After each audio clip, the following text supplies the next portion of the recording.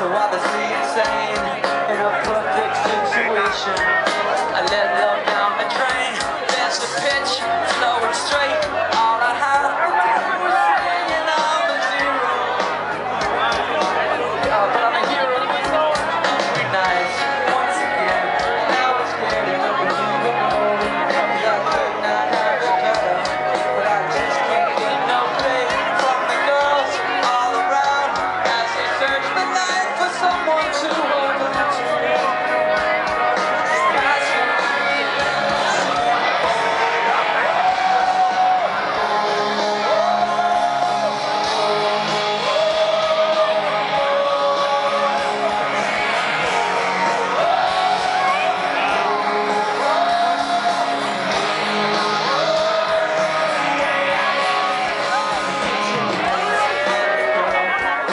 Thanks.